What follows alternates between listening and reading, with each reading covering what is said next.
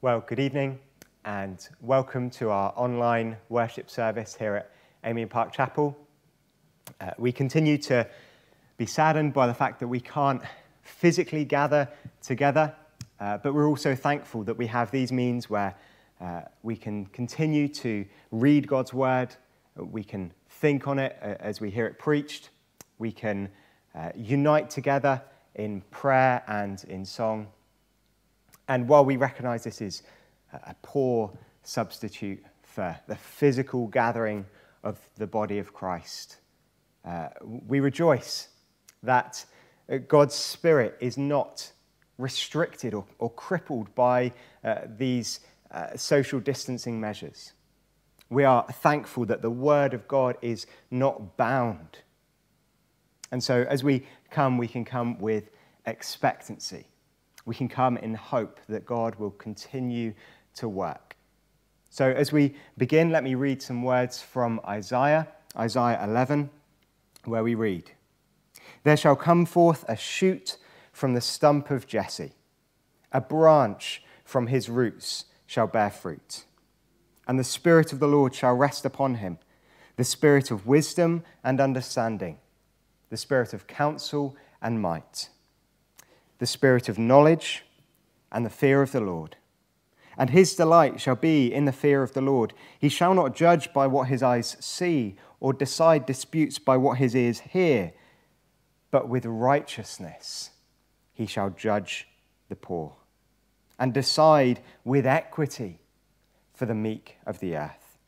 And he shall strike the earth with the rod of his mouth, and with the breath of his lips he shall kill the wicked righteousness shall be the belt of his waist, and faithfulness the belt of his loins. Let's pray together. O Lord our God, as we, as we come to you now, as we seek your face, as we come into your presence, we thank you and praise you and worship you that you are righteous, that you are just, that you judge with equity and fairness. Lord, we come and we, we confess our sin to you because, Lord, we know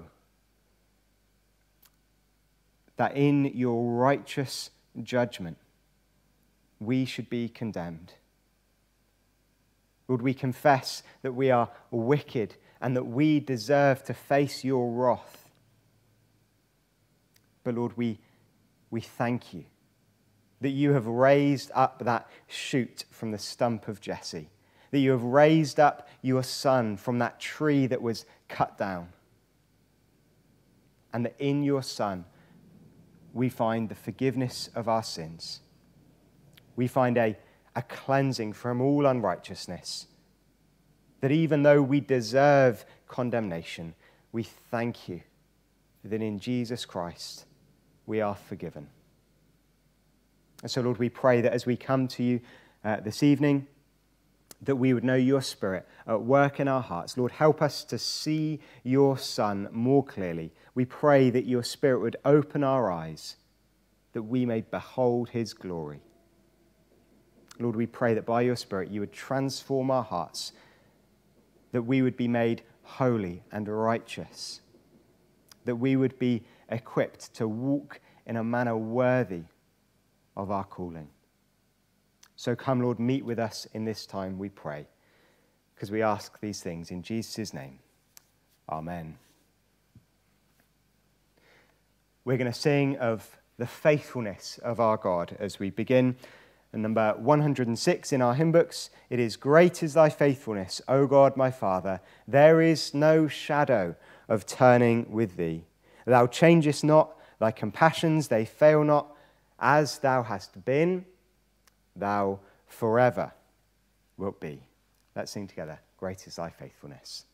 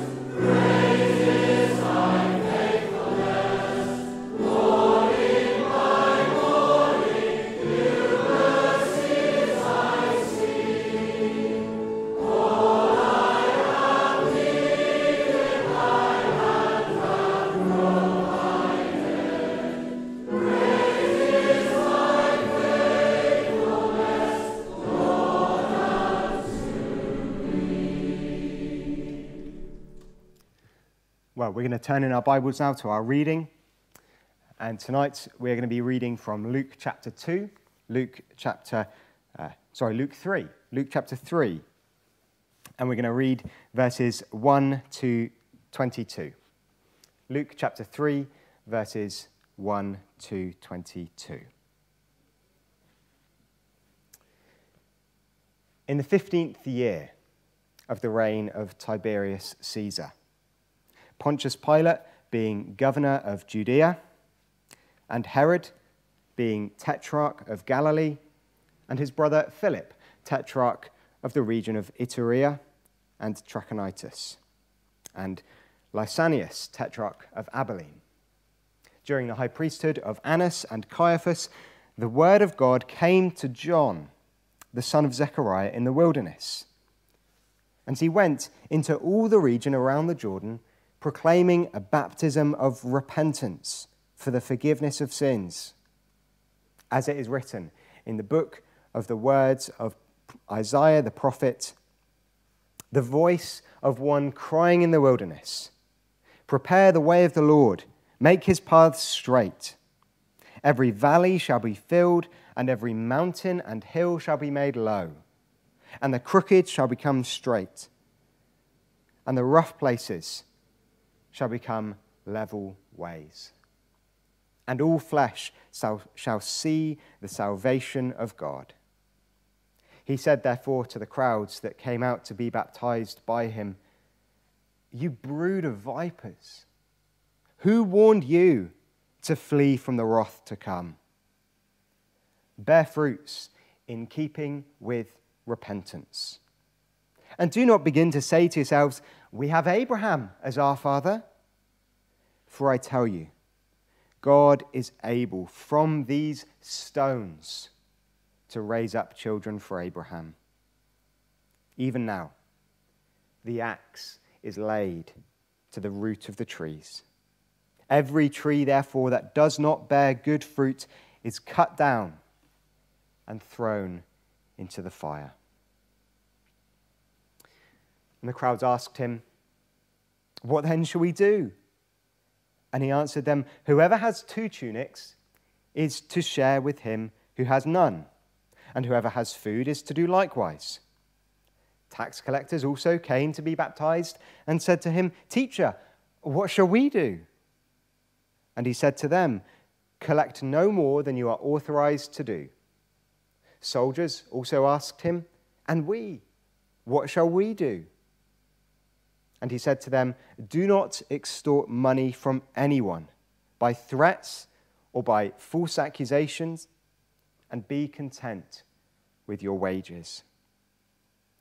As the people were filled with expectation, and all were questioning in their hearts concerning John whether he might be the Christ, John answered them all, saying, I baptize you with water, but he who is mightier than I is coming. The strap of whose sandal I am not worthy to untie. He will baptize you with the Holy Spirit and fire. His winnowing fork is in his hand to clear his threshing floor and to gather the wheat into his barn, but the chaff he will burn with unquenchable fire. So, with many other exhortations, he preached good news to the people. But Herod, the tetrarch, who had been reproved by him for Herodias, his brother's wife, and for all the evil things that Herod had done, added this to them all that he locked up John in prison. Now, when all the people were baptized, and when Jesus also had been baptized and was praying, the heavens were opened and the Holy Spirit descended on him in bodily form like a dove. And a voice came from heaven You are my beloved Son. With you I am well pleased. Well, we're going to come to our God now in prayer. Let's pray together.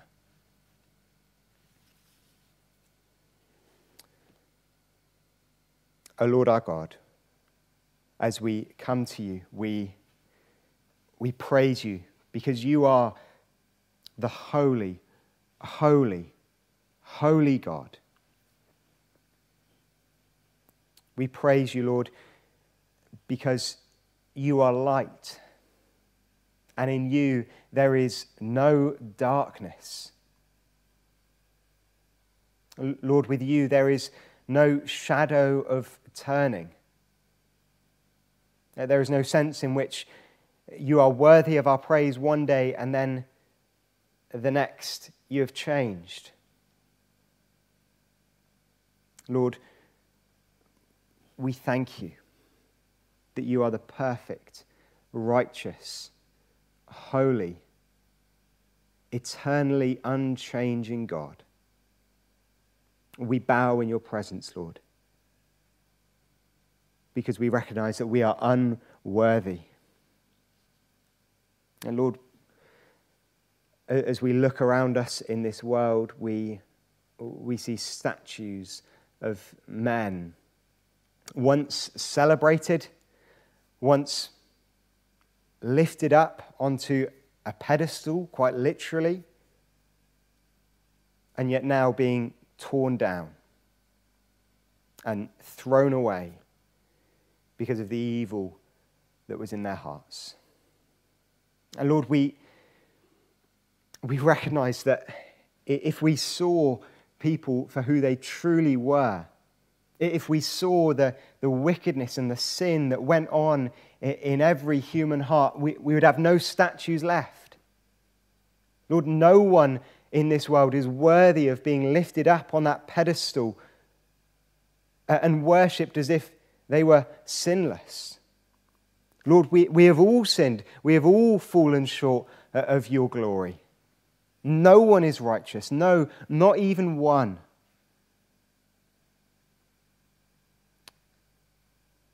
But Lord, we thank you and we praise you that in you, in your Son, we find the only one who is worthy of being lifted up. We find the only one who is worthy of our praise and our adoration. In you, we find the only one who is eternally perfect. Lord, we thank you that there is no hidden evil in you. That you are not loved and adored and cherished by one generation, only for the next to find some hidden evil in you. Lord, we, we thank you that you are the unchanging, holy, holy, holy God. Lord, we live in a world that is restless, a world that is so desperately seeking justice. And yet, Lord, in our search for justice, it seems that we just keep doing even more injustice. We seek for peace, but in our search for peace, we do more violence.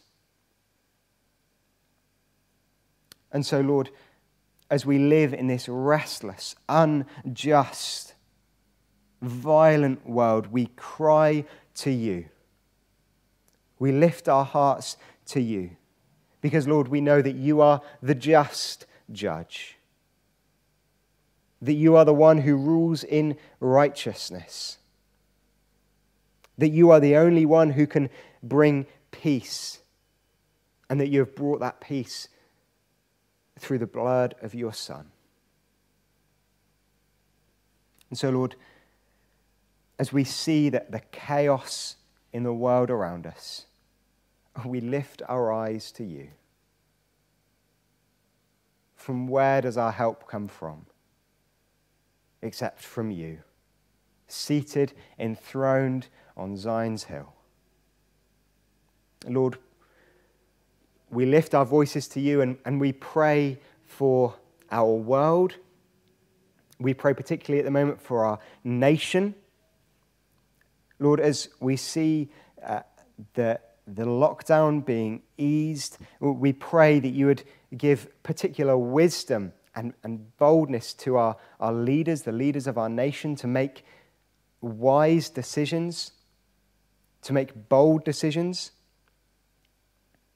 And Lord, we pray for the rulers of our nation, but Lord, we also pray for the rulers of our, our church. We pray for those that you have put in authority in our fellowship, for our elders and for our deacons. We pray, Lord, that you would give them a particular wisdom to know how and when to restart the, the gathering of the body. Lord, with so many different things to consider, with social distancing, with people's health, uh, with a concern to, to gather as one body, Lord, we, we just pray that you would make the way plain for us. That you would provide a, a wisdom that is not from themselves, but a wisdom that comes from you. Lord, we, we pray for our elders and our deacons, but we pray for ourselves as, as members of this congregation that you'd give us patience in, in this time of waiting, that you would that you would, through this time where we are separated, that you'd create in us a greater longing, a greater desire, a greater passion for, for the gathering of the body. Uh, Lord, a, a greater longing for the day when we can meet together in fellowship here uh, in this chapel. But Lord, even more, to have a greater longing and a greater desire for that great day when we will be gathered in, where we will meet together as one united body with all the saints, where we will be in that great gathering above. So, Lord, as we come to your word tonight, we pray that you would feed our souls. Lord, please meet with us, sustain us by your word, sanctify us by your truth. Your word is truth. Lord, we pray that we would know a real fellowship with you, that you would speak to us.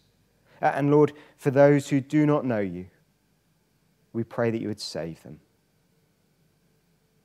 So, Lord, we, we come to you and we commit ourselves into your loving care because we pray all of these things in and through the name of the Lamb, the Lord Jesus Christ. Amen. We're going to sing once more before we come to God's word. We're going to sing, Just as I am, without one plea, but that thy blood was shed for me, and that thou bidst me to come to thee, O Lamb of God. I come. Let's sing together, just as I am.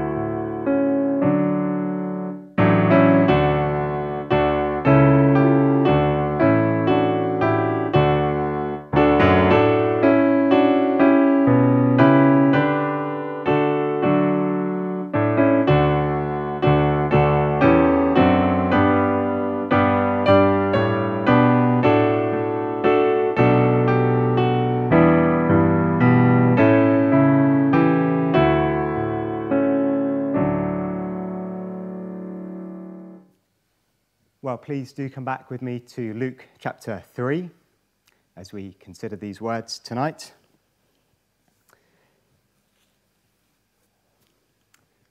Identity. Identity is a buzzword of our time. It's the talking point at, at the heart of so many issues that we see in the world around us today.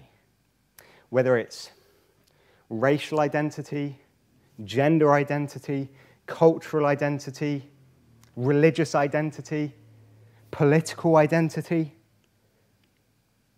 Identity is at the center of so many questions. Like, who decides my identity? Can I change my identity? Uh, are there certain identities that are discriminated against? Uh, are there other identities that are given preferential treatment? And what happens when two identities clash? Identity is a divisive issue. But you know, we're not alone in history when it comes to people being divided over identity. If we were to rewind the clock 2,000 years to the time at which our reading took place, the lines at which people were divided would have been in, in different places, but identity would still be at the root of the issue. So rather than political left or right, it would have been pro Rome or anti Rome. Rather than the gender pay gap, it would have been the gender rights gap. And perhaps most importantly for our text tonight, rather than black or white, it would have been Jew or Gentile. The lines are in different places, but identity is still the point of contention. Now, just to recap uh, where we are, we, we looked at these verses last time we were in Luke's Gospel, and uh, last time we had our camera set up with a wide angle lens, and we were looking at the ministry of John as a whole. Uh, we saw that John had this message of repentance to return to the Lord. We saw that John's goal was that people would come to the forgiveness of their sins, that they'd be washed clean of their guilt. We saw that John's version of morality is all about honesty and justice and charity. And we saw that the response to John's preaching was one of opposition and hatred. So that was the, the panorama view. And now we're going to zoom in to just a couple of verses. Uh, and tonight we're simply just going to work through those verses and we'll draw out some lessons as we go. The verses that I want us to focus on are verses 7 to 9. So let me read those words again. Luke 3, verses 7 to 9. He said, therefore, to the crowds that came out to be baptized by him, You brood of vipers, who warned you to flee from the wrath to come? Bear fruits in keeping with repentance, and do not begin to say to yourselves, We have Abraham as our father. For I tell you, God is able from these stones to raise up children for Abraham. Even now, the axe is laid at the root of the trees. Every tree, therefore, that does not bear good fruit is cut down and thrown into the fire. So here is John.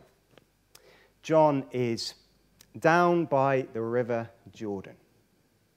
Now, perhaps there's a few people coming out to the river, uh, some of them to, to wash their clothes, Maybe they've come to take a quick bath. And maybe if the weather's been anything like it has been this week, Uh, they've come to just cool off. Uh, and as they're there, enjoying the nice, warm Palestinian sun, their attention is caught by a man just downstream. Uh, people are sitting on the bank of the river listening to this man. He's, he's gathered a crowd. And so, as we get a little bit closer to hear what this man is saying, we, we catch a snippet uh, of, of what he's saying. He says, We have all sinned. We've all turned our backs on God. We've forsaken his laws. We've rejected his commandments.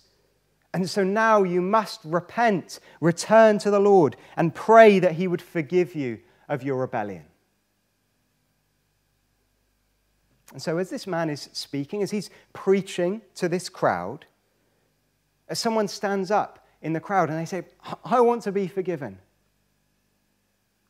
And so, together, this man and the preacher, they go down into the river, and the preacher dips this man under the water and he baptizes him.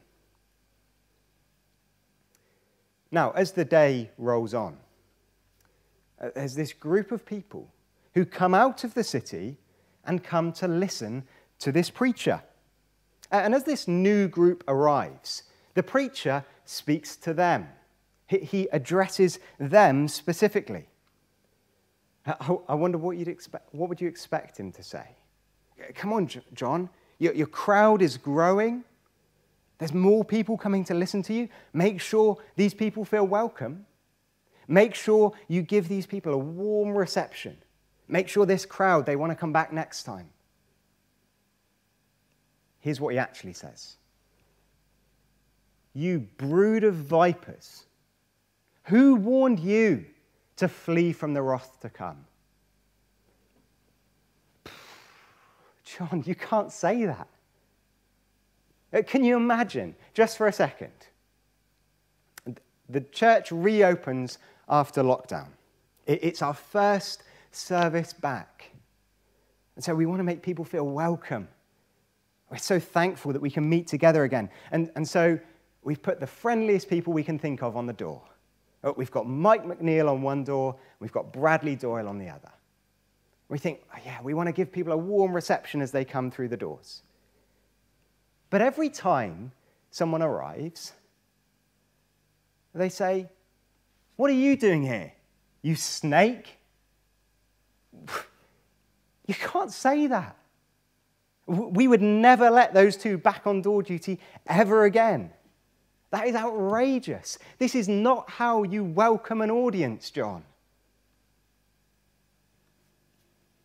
But John isn't here to give people a nice, warm, friendly welcome.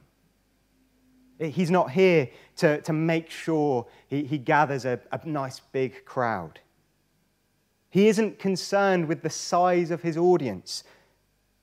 No, he is here to confront people with the reality of their evil, unbelieving heart. Uh, and so, as as this preacher sees this crowd coming out, he doesn't see a nice group of innocent people just coming to hear what he has to say. No, he sees slimy, slithering, deceitful people with no interest in hearing what he has to say. These people are snakes, they are deceivers. They, they put on the show of, of outward religion but their hearts are cold and callous. And they're like Snow White's apple. It looks juicy and delicious on the outside, but inside is full of poison. These people, they're under the impression that they're, they're fine with God. I'm okay, thank you very much. Uh, they don't need this repentance. They don't need any of this forgiveness of sins. This is, this is beneath them. They are good enough as they are. And so John says to them, Who warned you to flee from the wrath to come? Who told you you need forgiveness? Why have you come to listen to me? says John. If you think you're so righteous, then what are you doing here? They go around telling everyone how squeaky clean they are, how they don't need to be washed. And yet they've come to listen to John talk about how we're all filthy and we all need to be washed. What are you doing here? You don't believe there is a wrath to come for you. So why are you running away from it? Well, let me ask you John's question. Who warned you to flee from the wrath to come? Uh, maybe as you listen to this, you're saying to yourself, Well, I don't believe there is a God. And maybe you're thinking to yourself, Uh, Jesus, he, he was just a good person. Maybe you say to yourself, Wow, I don't, I don't believe in a hell. I think God will just let me into heaven. Well, then why are you here? I'm not going to go so far as to call you a snake, but if you are deceiving yourself into thinking that you're just fine the way that you are, well, then why are you here? Why would you come to listen to someone like me tell you, no, there is a God, Jesus Christ is his son, and if you do not trust in him, then there is a hell that is awaiting you? I'll, answer that question for you. I think you're here because there's something gnawing away at the back of your mind. Uh, you claim that there is no God, but deep down in your heart, you know that's not true. You claim that you're good enough to just be let into heaven, but deep down, you feel guilty. You feel rotten. You, you say that there is no wrath to come,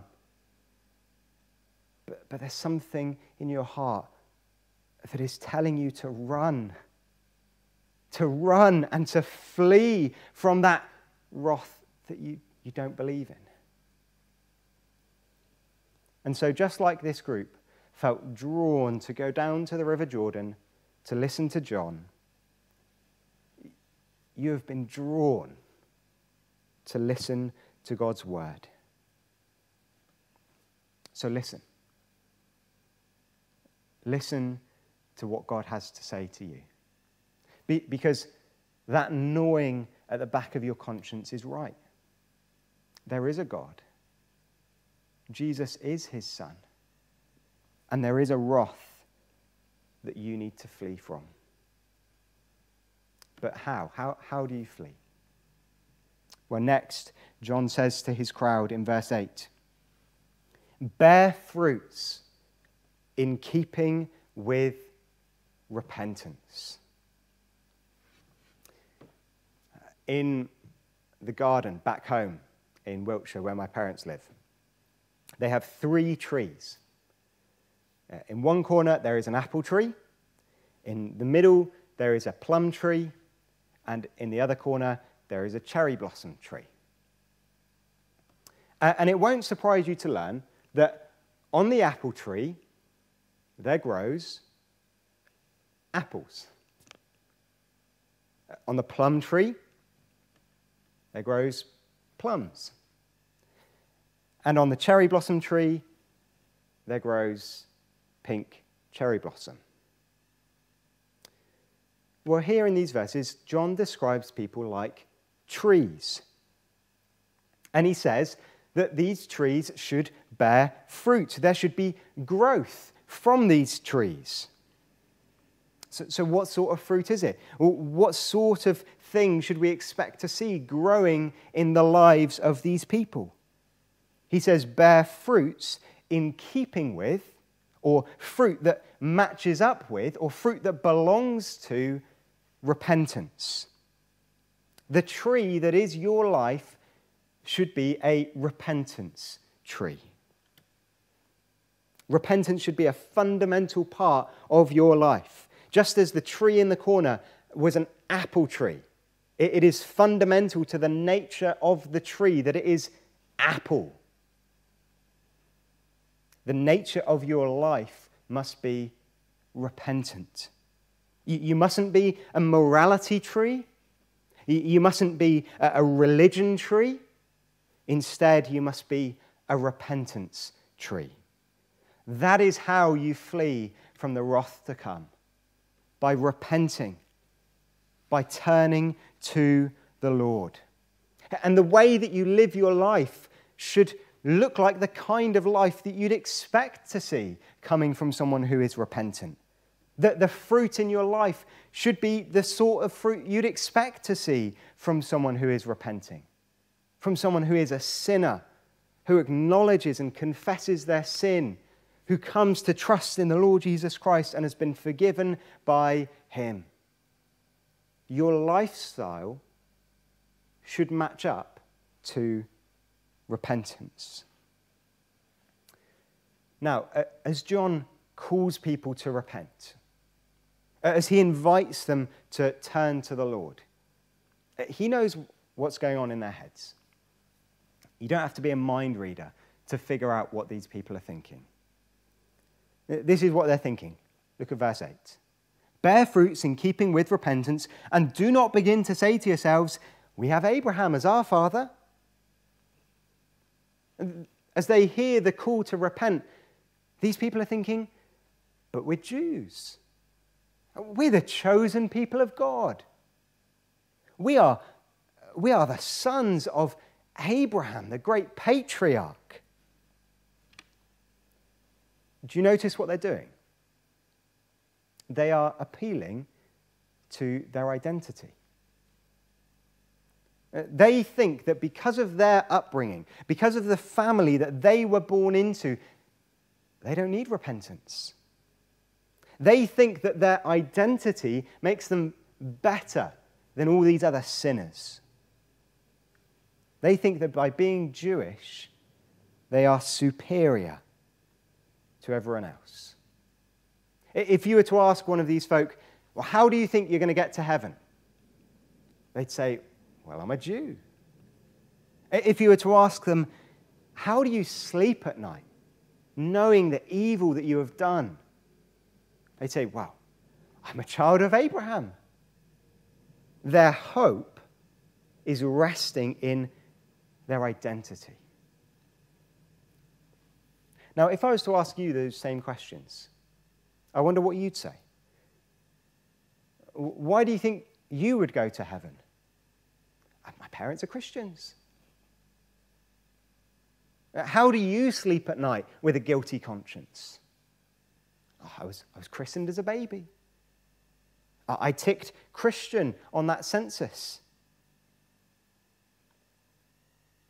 Listen to John's response to what these people are thinking. Verse 8 Do not begin to say to yourselves, We have Abraham as our father. For I tell you, God is able from these stones to raise up children for Abraham. The question goes out how are you going to get to heaven? The response comes back I'm a child of Abraham. To which John replies, And? So what? Whoop de doo. Do you want a medal? And then he picks up one of the stones from the side of the river and he says, God could replace you with a rock if he wanted to.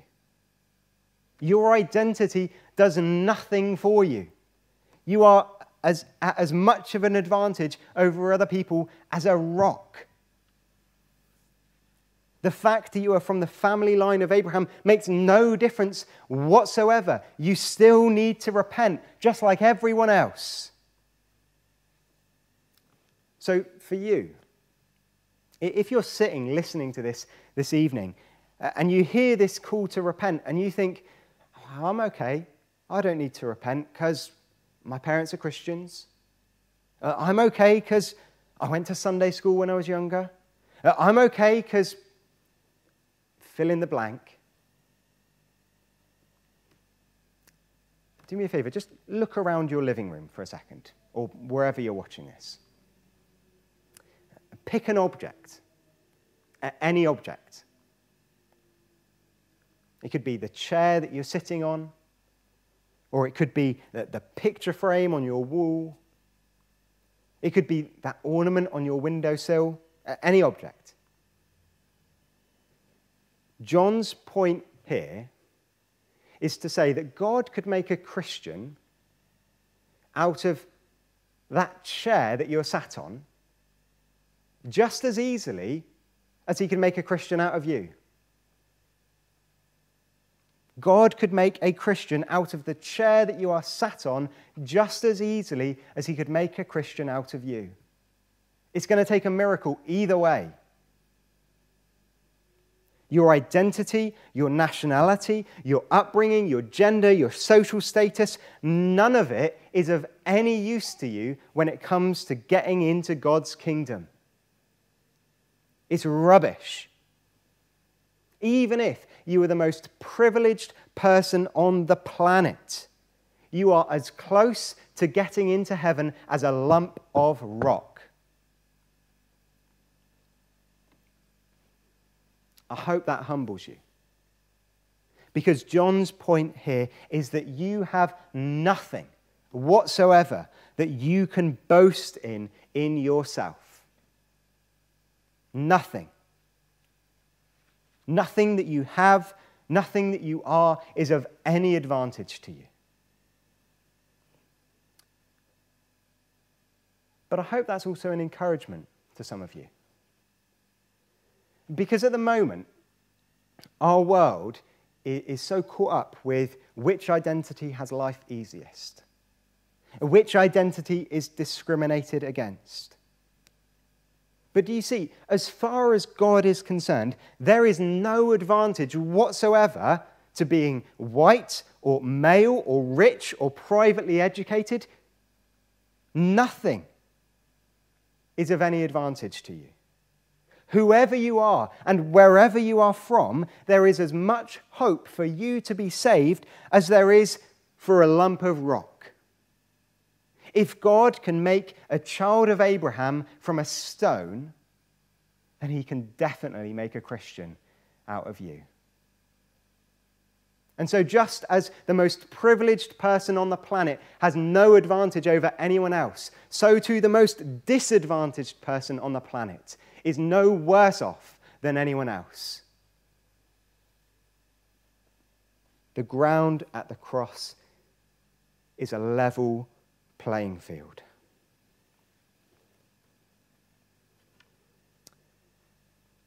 As John is warning these people that their identity does nothing for them, he goes on to say this in verse 9. Even now, the axe is laid to the root of the trees. Every tree, therefore, that does not bear good fruit is cut down and thrown into the fire. Now, I want you to imagine yourself in an orchard. let's stick with apples. We talked about apples a lot. Or maybe you could go for something more exotic. Maybe you could imagine yourself in an orange grove. Uh, and the farmer is taking you through his orchard. And as you go down the row of trees, you see one after another, after another, after another.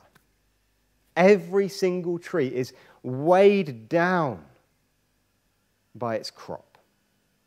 Every single tree is producing its fruit. But then you come to the end of a row. And at the end of this row of trees, there is one tree. And on this one tree, there is no fruit whatsoever. Not even a blossom or a bud. Nothing. Uh, and so you ask the farmer, What's going on? Why is there no fruit on this tree? And, and so he explains, Well, it's been like that for years. Uh, he's tried everything. He's pruned it. He's dug around it. He's put some fresh soil. He's used fertilizer. One year, he even dug the whole tree up, roots and all, and he moved it to a different part of the orchard but nothing has worked. And so, with a glum look on his face, he says, I think I'm just going to have to chop it down. It's only good for firewood now. John says to his audience, uh, and he says to us tonight, if you do not bear fruit, you are only good for firewood. So, do you remember the, the kind of fruit that we're supposed to produce? You are meant to produce repentance fruits. You are meant to be a repentance tree. And so we would hope to see humility at the wickedness of your own heart, confession of your sin to Jesus Christ, faith in the saving work of Jesus, obedience as we have turned to the commands of the Lord. If none of that fruit is showing, if none of that fruit is growing, then there is something wrong with the tree. If you cannot see any of those characteristics in your life, then there is something wrong with your soul. Be warned that the Lord Jesus Christ is wandering through his orchard even as we speak. And he may have come tonight to examine the fruit that is growing from your life. Tonight, your soul may be required of you. And if there is no fruit that is in keeping with repentance, then the Lord Jesus Christ is going to go to his tool shed. And this time, he's not going to get his pruning hook. He's not going to get his spade. He's not going to get any fertilizer this time. He's gone to collect his axe. And he will lay that axe at the root of your tree. And you'll be cut down. And you'll be thrown into the fires of judgment. But hope is not lost. Your lonely, fruitless tree stuck at the, the bottom of that orchard is not condemned to a life of fruitlessness before a judgment of fire. Upon hearing what John has to say, upon hearing that the prospect of this judgment by fire, the, the crowds, they all ask John the same question that you are asking right now. What do we do? How do we escape that judgment? How can we bear fruit so that we're not chopped down? And so John explains to them the kind of fruit that he'd expect to see. The repentant person is no longer selfish, but charitable. The repentant person is no longer a thief, but honest. The repentant person is uh, no longer a cheat, but someone who loves justice. But more than simply teaching these people the kind of fruit that they should see in their lives, John ultimately points them to the gardener. Here is the one who has the pruning hook. Here is the one with the fertilizer. Here is the one who has the axe. He is the one whose shoelace John is not worthy to untie. It's Jesus of Nazareth. Now, as you've been listening to this tonight, uh, I'm worried that you may be under the impression that all you have to do to make sure that you're not cut down is you just have to make sure that there is enough fruit in your life. You just have to work hard enough and be good enough to make sure that Jesus likes what he sees. The reason why that worries me is because you and I both know that that is not possible. You cannot just make yourself grow. You cannot produce fruit just by working hard enough. Uh, the child cannot make themselves taller just by thinking tall thoughts. They cannot make themselves older just by dreaming of what they're going to do when they grow up. And so, too, the, the tree in the orchard, it, it can't just think hard enough. Fruit. No matter how hard you try to be a good person, to live the sort of life that you think a repentant person should live, it will not happen. And actually, as you try and produce fruit, you see that you produce the wrong kind of fruit. You try and produce fruit of righteousness, but all you ever see is the fruit of sin and wickedness. You want to produce apples, but you only ever produce pears. And do you know why? It's because your identity is all wrong. You're actually the wrong sort of tree. No wonder you keep producing pears. It's because you're a pear tree rather than an apple tree. No wonder you keep producing bad apples. It's because you're a bad apple tree. No wonder you can't stop yourself from sinning. It's because you are a sinner. That is your identity. It is ingrained into your nature. Your nature is sinful. And so, as John is preaching here, he knows what sort of fruit they should produce, he knows the sort of life they should live. But he cannot change their nature. He cannot change their identity as sinners. And that is why he has to point us to someone else. He has to point us to the gardener. John tells us in verse 16 that Jesus will baptize you with the Holy Spirit and fire. So, as we come to Jesus, as we trust in Him, as we put our faith in Him, He doesn't just dust us down, give us a bit of a boost, and send us on our way. No, He baptizes us in the Holy Spirit.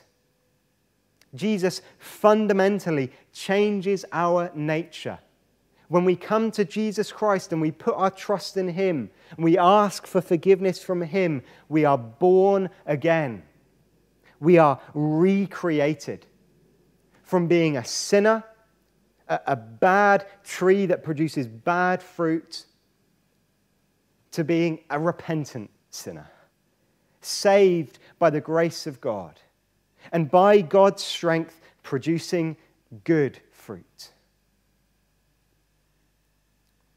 You don't just need a, a pep talk to get you producing fruit in your life. No, you need a new identity. You need a more radical change. Let me read to you the words of a Christian man who is same sex attracted. This is what he says What I most want to avoid is any other identity that might attempt to displace my fundamental identity as a Christian. For the thing that defines me most in my life is not my sexuality, but my status in Christ as a son of God. Here is a man whose identity, as the world see, sees it, seems to be so opposed to the teachings of Christianity. And yet, because he has had a heart transplant, because he has been transformed by the Lord Jesus Christ, he can say that he has a new identity. An identity that is above anything else. And it is found in his status as a child of God. The people down at the riverside that day, they found their identity in their nationality. Everyone at the moment is talking about identity based on the colour of their skin. Maybe you define your identity in some other way. But the message that John has for us is, it, is that at the end of the day, there is only one identity that matters. There is only one identity that counts. And that is whether or not you're a child of God, trusting in the Lord Jesus Christ. However, else you define yourself, the only way that you could be a repentance tree, producing good fruit, the only way that you will not be cut down and thrown into the fire is if your identity is found in Jesus. Let's pray to him now.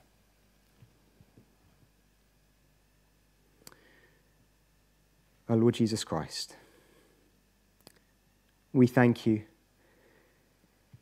that at the cross you were willing to give up your righteousness, that you were willing to pay the price of your life so that we may be redeemed. Lord, we thank you that because you have given up your life, that we can take hold of that life.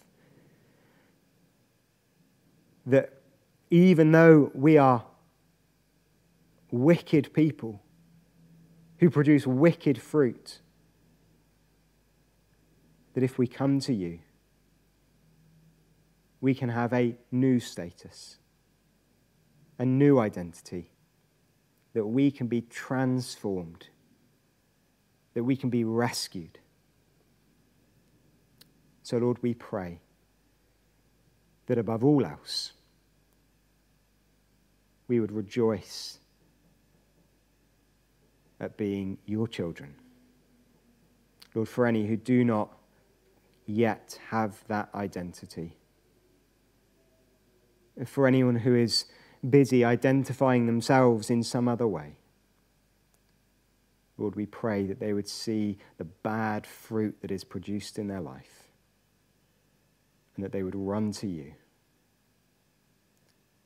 and that they would find their hope in you. Because we pray these things in Jesus' name. Amen.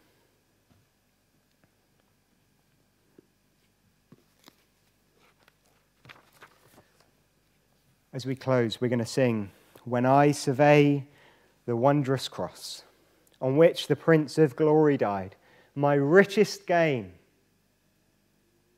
whatever it was that we thought was the best thing in the world, my richest gain I count but loss and pour contempt on all my pride. It's nothing. It's empty. It's worthless. Let's sing together when I survey.